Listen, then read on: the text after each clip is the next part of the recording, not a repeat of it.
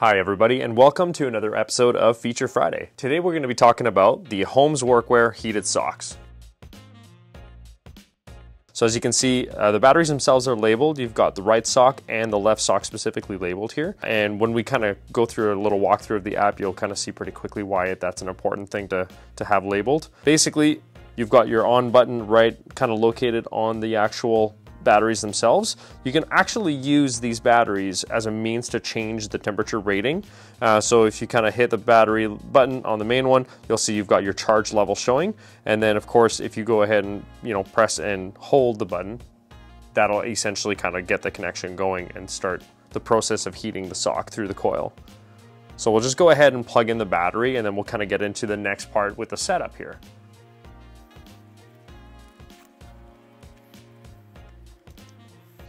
So now I've got my socks hooked up from the cable that's inside this zipper pocket.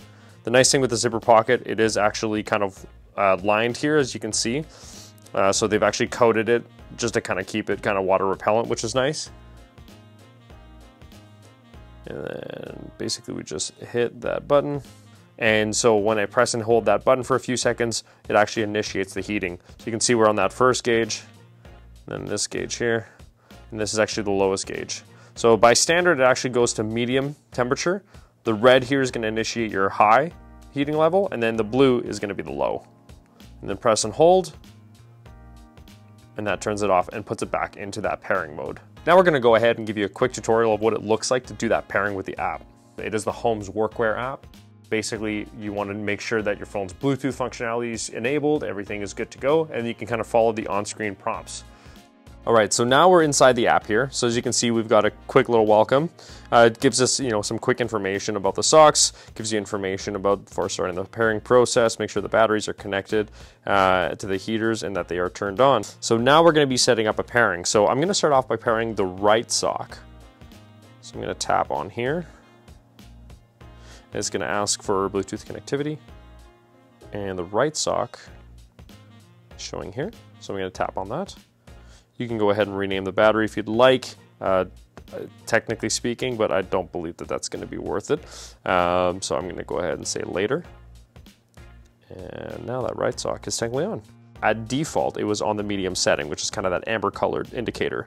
So now if I hit high, I can actually see that my battery is on the red indicator. And if I go low, it shows on the blue indicator. And I can go back to medium and then if I want to, I can also press that power button in the middle and that turns it right off. And when we tap the button again, it goes ahead and turns back on. We also have a battery status indicator showing at the very top, which is very nice. And you can actually even see where the, you see the heating coil is actually located. So all very helpful information and good insights. You'll also find that there's some manual and information tab at the bottom. You back home if you'd like to.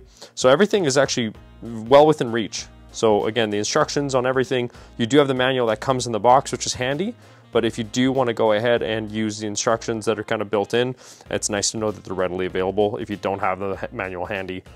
Now, outside of the battery charging function, which we can appreciate is kind of one of the main leading features of this sock, it is actually quite a comfortable sock. It's made of a blend of acrylic, merino wool, polyester, and spandex, as well as a couple other fibers. Definitely kind of has a nice thick plush feel to it.